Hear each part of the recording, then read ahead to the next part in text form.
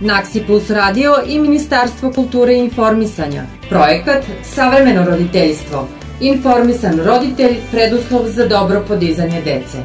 Cilj projekta informisati roditelje o svim savremenim štetnim pomagalima u vaspitanju i obrazovanju dece i doprineti podizanju svesti roditeljima o značaju porodičnog vaspitanja iznad institucionalnog doprineti boljoj informisanosti roditelja o principima, načinima i metodama vaspitanja kojih bi trebalo da se pridržavaju u cilju podizanja zdrave i srećne dece.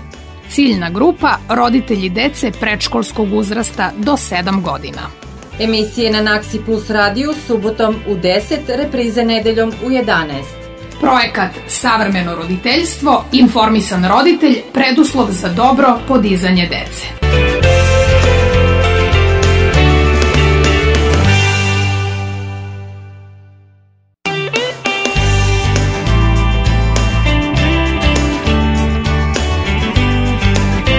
Poštovani slušalci, dobar dan. Slušate još jednu emisiju serijala Savremeno roditeljstvo, informisan roditelj preduslov za dobro podizanje dece. Tražeći teme i prateći događaje svakodnevno, već neko vreme vrlo često nailazimo na različite rasprave o vakcinaciji, između stručnjaka, lekara i roditelja sa lošim iskustvom i onih bez ikakvog iskustva koji su uplašeni jer ne znaju šta ih čeka i kakvi rizici sve postoje od određenih vakcina. Vakcinacija nije ništa novo, radi se od pre mnogo godina, ali u poslednje vreme se zbog loših iskustva roditelja podigla velika galama na društvenim mrežama i drugim sajtovima oko cele te priče. I kako se sve više spekuliše o dobrim i lošim stranama vakcinacije dece, neki od roditelja su nepoverljivi i neretko ne dozvoljavaju da njihovo dete primi vakcinu. Iz tih razloga odlučili smo da se o ovoj temi opširnije bavimo u okviru ove emisije i o svim dilemama razgovaramo sa pedijatrom doktorkom Negicom Pejić koja je u dečijem dispanzeru posebno zadužena i za vakcinaciju dece.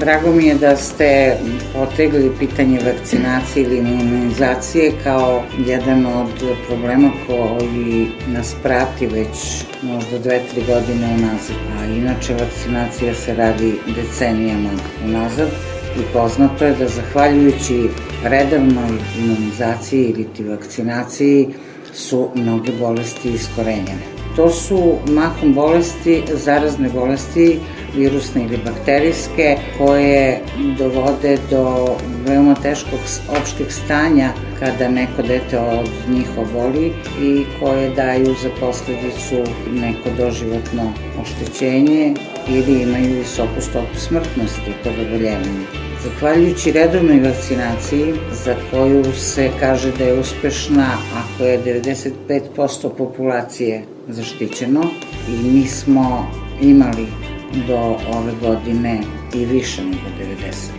95% zaštićene dece, ove godine taj procenat pada. Zahvaljujući visokom obuhvatu, odnosno visokom procentu zaštićene dece, mi unazad nekoliko decenija nismo ni imali epidemije, niti malih boginja, niti rubeole, niti zaušaka, kao ni difterije, tetanusa, dečje paralize i svih ovih drugih vakcinabilnih bolesti. Zahvaljujući tome nismo imali ni problem smrtnog nekog ishoda kod oboljevanja, jer je bilo u dva, tri navrata manjih epidemija u Srbiji, mahom u Vojvodini, jedne godine u Nišu i u Beloj Palanci se pojavile i to su mahom importovane iz okolnih zemalja, znači iz Hercegovine, Bosne ili sa Kosova. I još uvijek je taj uh, kolektivni imunitet u našoj naciji dosta visok, tako da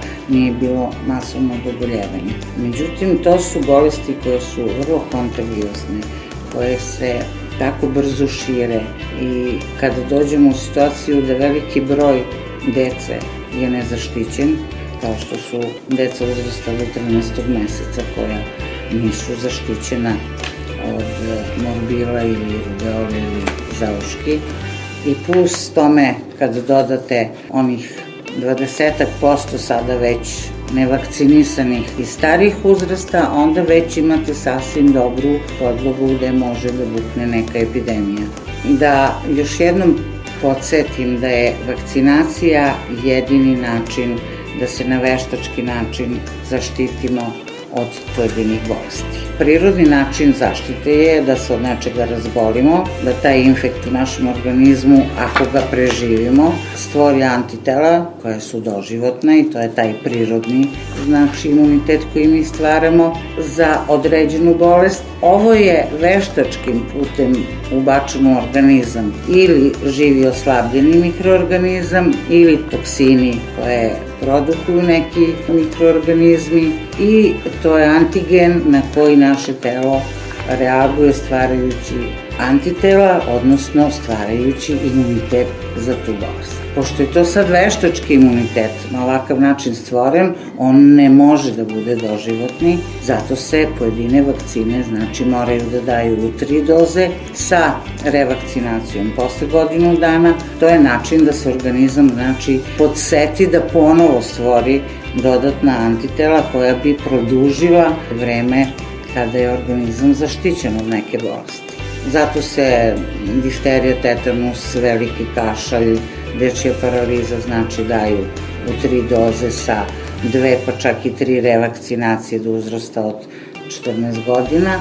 Male boginje se takođe parotit daju u 13. mesecu pa se daje pri upisu u prvi razred ponovo revakcina, zato što posle tih 6-7 godina već nema dovoljno antitela u organizmu da bi se organizam branio, znači on će možda oboleti u nekoj blažoj formi, ali će možda oboleti onda je zato doneta odluka znači na državnom nivou da se vakcina za MMR za male boginje, rubeolu i zauške ponovi u sedmoj godini pri upisu u prvi razred. Ranijih godina je to bilo recimo u šestom razredu je bila revakcina, ali kad su se događale ove mini epidemije po Srbiji, ispostavilo se da su neka deca u desetoj godini obolela.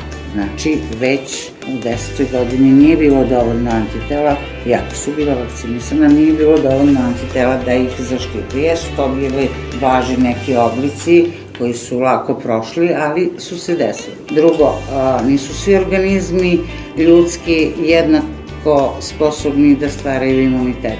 Tako da i na vakcinu će deca različito da reaguju u smislu stvaranja količine tog zaštitnog materijala protiv tih bolesti i dužine koliko će moći da se štite od toga. Tako da su to sve elementi koji ukazuju na to da neke vakcine treba ponavljati, neke vakcine je dovoljno dati u uzrastu kad se očekuje najveće oboljevanje te dece, znači veliki kašalj se najčešće, ali i u najtežim oblicima leži do nekih 5 godina.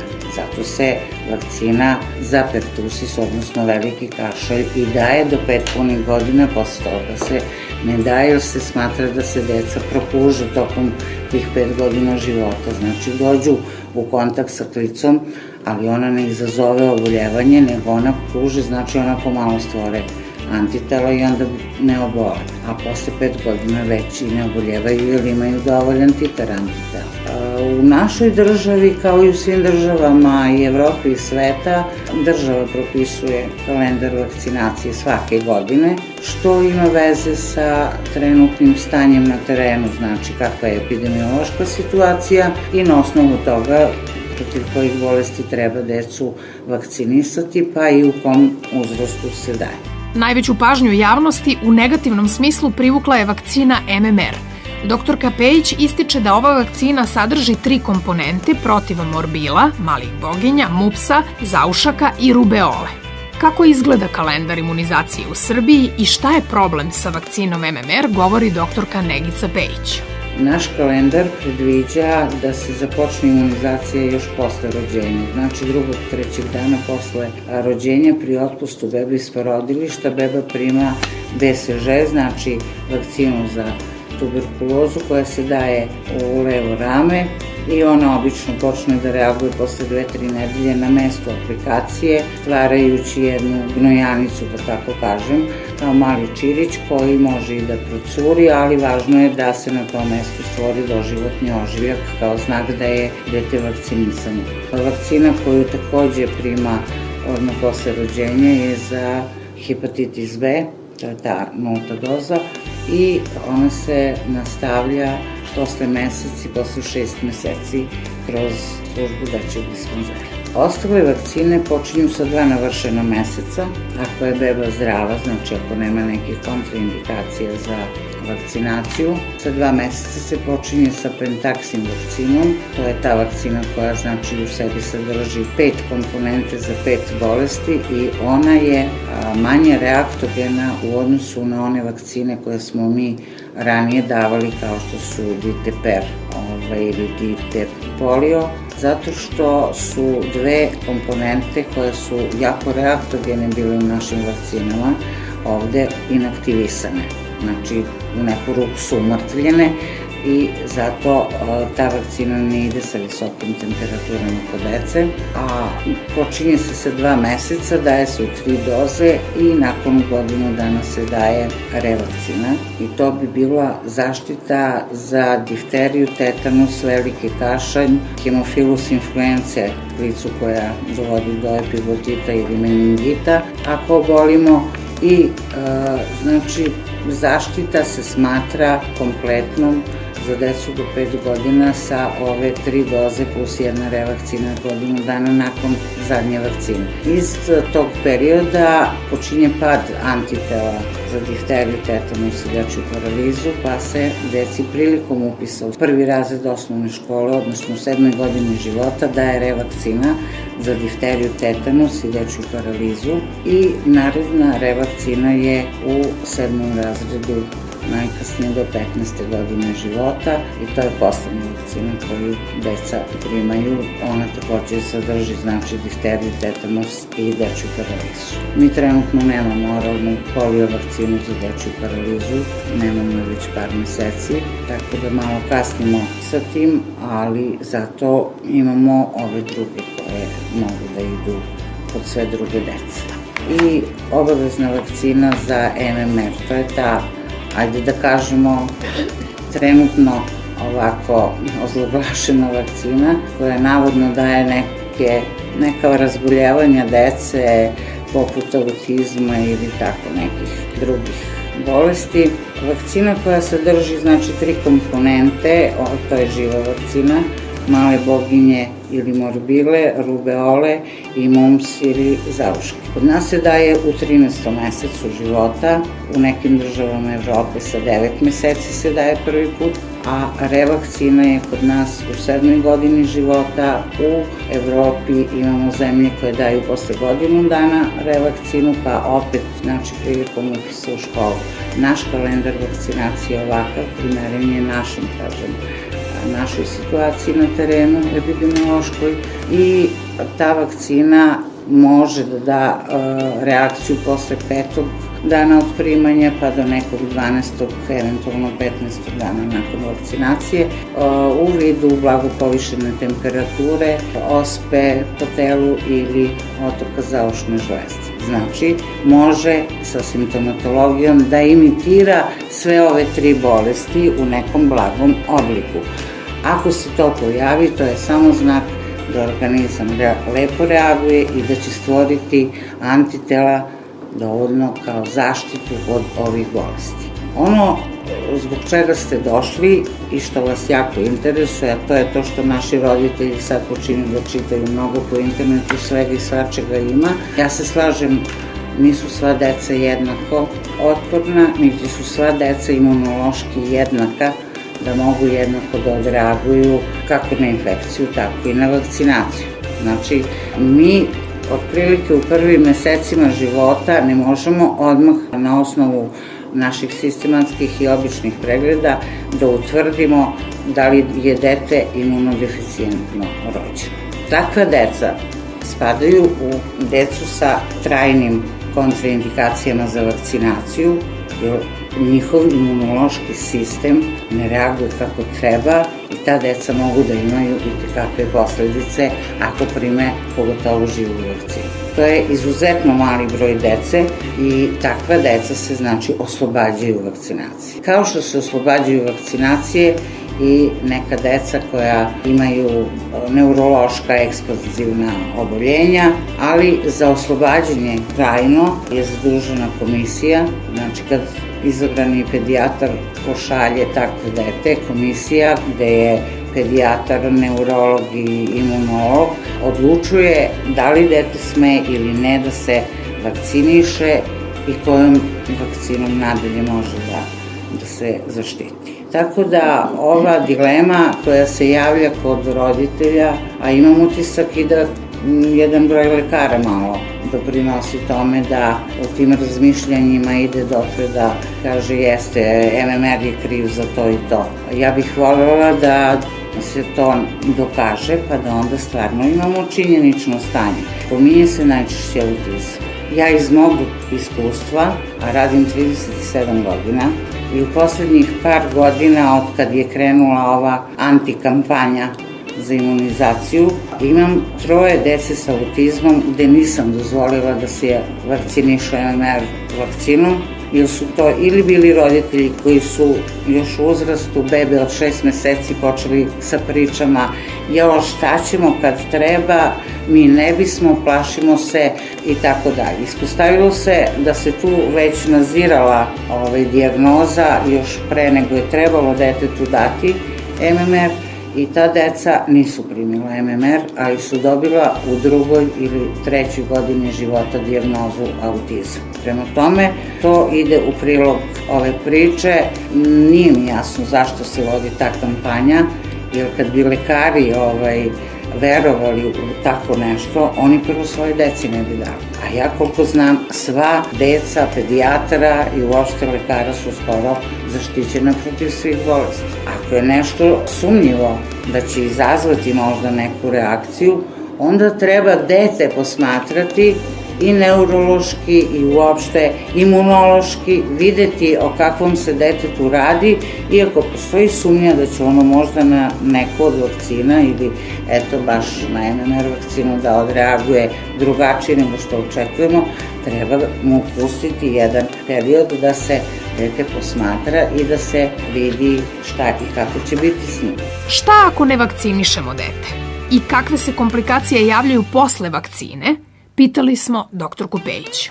U suprotnom je velika šteta ne vakcinisati dete jer treba izvagati šta je dobro u vakcinaciji, a šta je ono što nosi kao rizik ili opasnost vakcinacije sa sobom. Ako je kod e, vakcinisanja jedno, recimo na 100.000 vakcinisane dece imalo neku komplikaciju, a komplikacije mogu da budu ili anafilaktički šok koji se događa još za vreme prijema vakcine i to najčešće na substancu u kojoj je rastvoren antigen ili ako se dogodi kao postvakcinalna reakcija, nešto poput encefalita ili znači, tih težih e, oboljenja, onda je to stvarno težak jedan problem za tu porodicu, ali ako je to pojava koja ide jedan na recimo 100.000 vakcinisanih do čak milionu vakcinisane dece za polio i ako imate na hiljadu obolile dece od tih istih bolesti smrtnost od 10 do 15%, onda mislim da je stvarno beznačajno diskutovati o tome da li je vakcina korisna ili štetna. Korisna jeste, ali postoje deca koja ili se ne mogu odmah da prepoznaju da su imunološki deficijentna, koja će malo drugačije da odreaguju, možda čak i sa eto nekom komplikacijom, ali to je izuzetno redka pojava kod vakcinisane dece.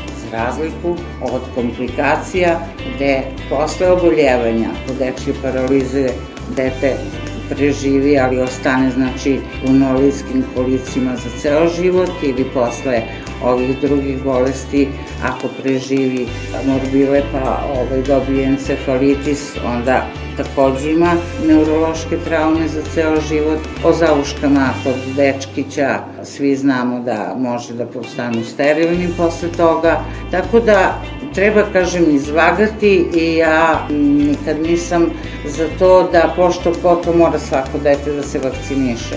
Treba vakcinisati svu decu, ali prema onome šta iz kartona lekar može da vidi, šta u razgovoru sa roditeljima vidi, ali bih apelovala na roditelje da malo više veruju svom izabranom lekaru, a manje da se zbunju čitajući na internetu ko je šta rekao i zbog čega to tako.